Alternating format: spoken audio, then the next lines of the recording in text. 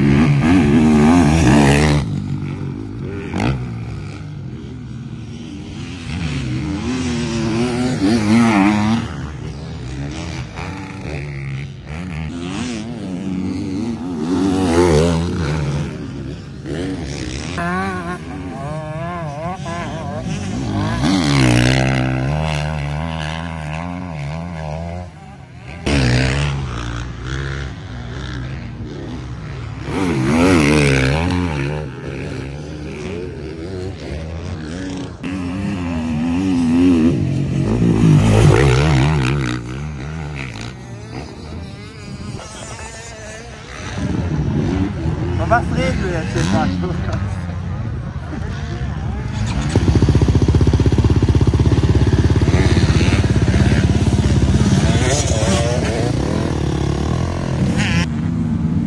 Also eingefahren habe ich mich jetzt. Ähm, habe auch was am Fahrwerk umgestellt, gerade mit dem Thomas. Das war auf jeden Fall besser. Haben wir die Gabel ein bisschen rausgeschoben. Ist eigentlich jetzt nichts Wildes, aber hatte ich jetzt hier so in der Vergangenheit irgendwie nicht das Gefühl, dass das besser ist. Aber heute ist es besser. Ähm, noch ein paar, paar Klicks verändert. Und jetzt tue ich Motorhalter testen. Die habe ich zwar in Italien schon mal ausprobiert. Ähm, genauer gesagt, also den hier baue ich jetzt dran. Der hat hier so einen Ausschnitt. Dafür hat das Motorrad dann mehr Flexibilität im Vergleich zu dem hier. Soll dann im Endeffekt besser in die Kurve reinfallen, ähm, weil das Motorrad halt einfach nicht so, nicht so steif ist. Deswegen, ja, gucken wir mal. Das baue ich jetzt dran. Ob ich das am, am Fahrwerk noch ein bisschen was verändere, muss ich gucken. Das probiere ich jetzt noch aus. Da wollte ich noch einen Auspuff ausprobieren. Äh, und ja, das war es eigentlich, glaube ich, soweit heute. Ja, aber solange das Fahrwerk am Ende passt, das Motorrad an sich, Leistung und alles fühlt sich richtig gut an. Und ähm, das ist ja das erste Mal im Sand mit meinem Rennmotorrad. Genau. Probiere ich die Motorhalter jetzt aus und dann schauen wir weiter.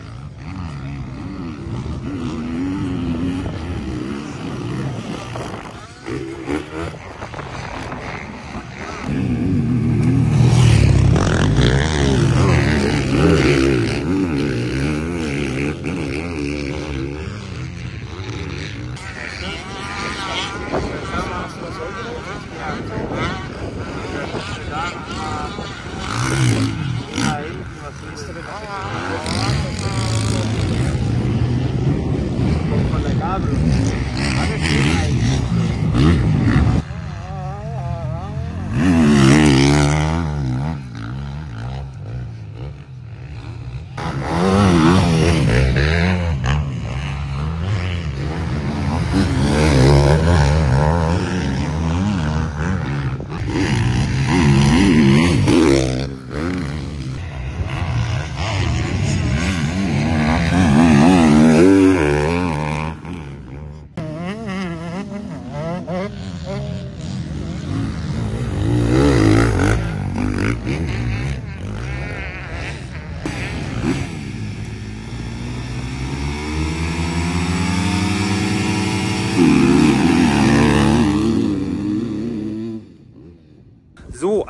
Schöner, guter Testtag geht zu Ende.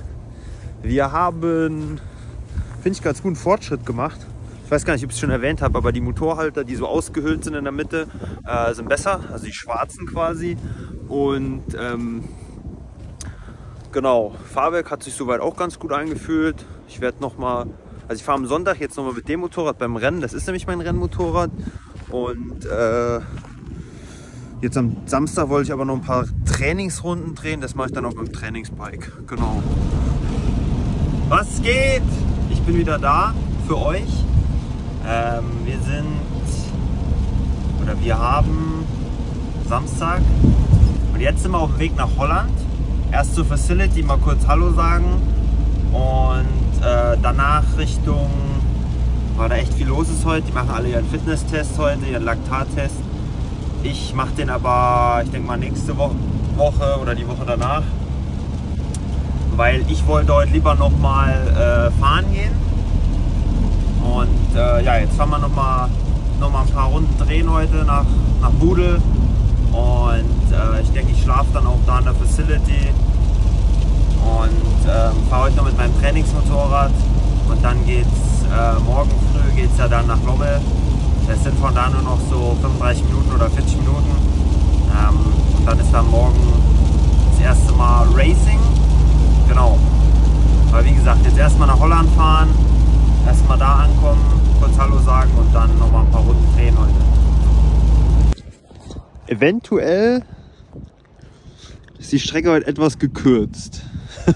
so, es hat mal wieder geweihnachtet bei mir.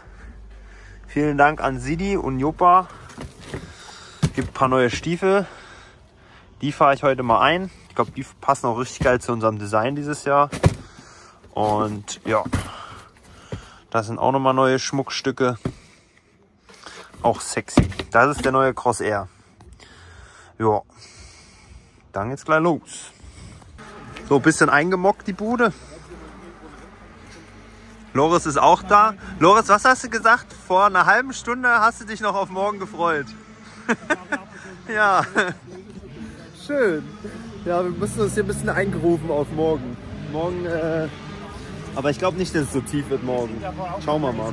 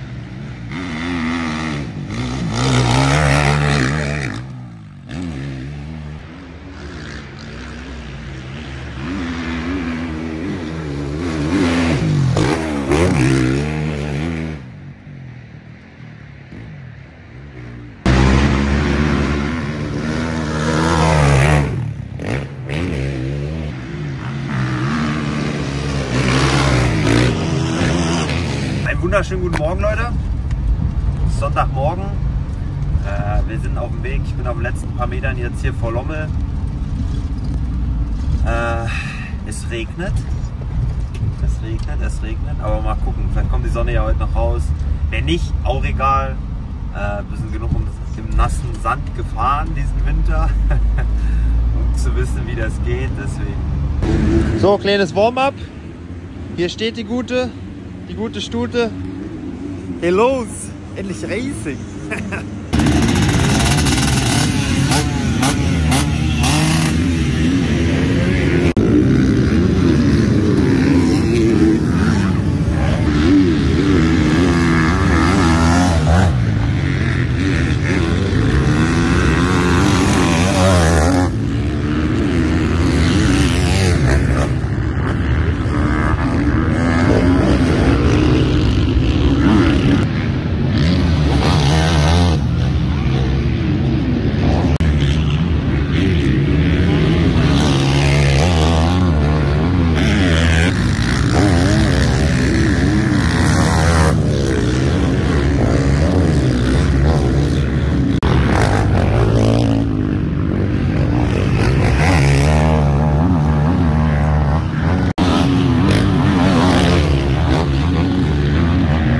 Also Training und Quali ist durch. 15 Minuten. Ähm, war jetzt siebter in der Quali und habe ein bisschen, bisschen viel Abstand nach vorne. Ich glaube sechs Sekunden. Das ist too much. Aber Strecke ist auch wild. Ich weiß jetzt nicht so genau, ob das heute mein erstes Hard-Enduro-Rennen wird oder mein erstes Motocross-Rennen diese Saison. Aber gut, weiter geht's. Ich gehe jetzt mal meinem Dad Hallo sagen. Der ist nämlich hier. Und ja, dann machen wir uns ready für den ersten Lauf. Und Bike ready. Hab ich gemacht. Mal gucken, ob der lebend ankommt. Wissen wir schon, dass du heute für mich schraubst. Ich glaube noch nicht. Also Hm. Finn macht dann Mechaniker. No. Hallo. Wurde jetzt befördert. Ich bin jetzt nicht nur Kameramann, sondern auch Mechaniker. Wie gesagt, ich bin mal gespannt, ob der lebend ins Ziel kommt. Ja, Nein, nein, alles nach bestem und Wissen und Gewissen geschraubt natürlich. Das wird super. Das wird top. Ja. Ja, schön. Es wäre nicht Belgien MX Opening Cross in Lommel, wenn nicht schon irgendwie fast 45 Minuten Verspätung wären. Es fahren, also es sollten gleich die 250er fahren, aber die sind richtig hinten dran im Kalender, im Zeitplan hier. Und äh, den ganzen Tag wird nichts geschoben. Weltklasse. Und der letzte ist noch auf der Bahn und es geht schon ins Gatterfeld schon gleich. Ist zu geil. Es ist einfach zu geil.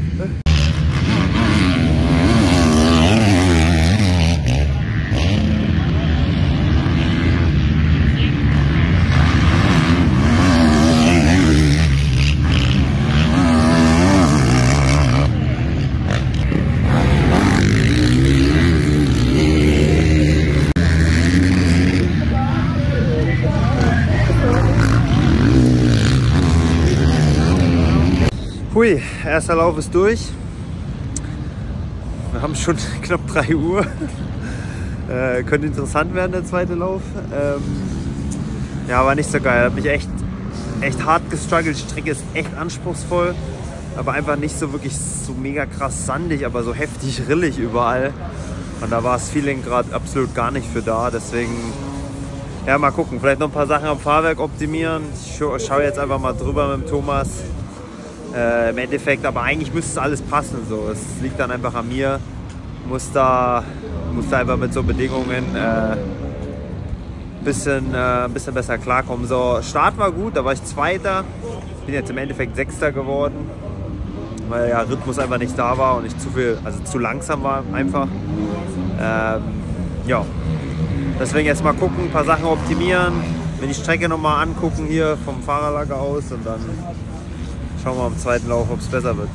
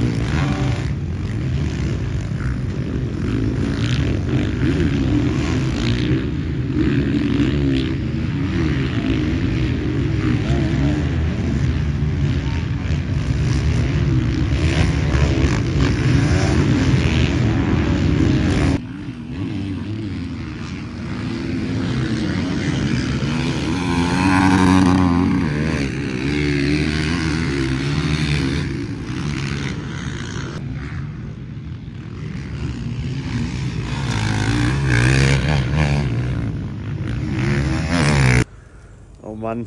Also Setting war jetzt besser vom Fahrwerk. Da habe ich äh, auf meine Intuition vertraut und das hat sich viel besser angefühlt.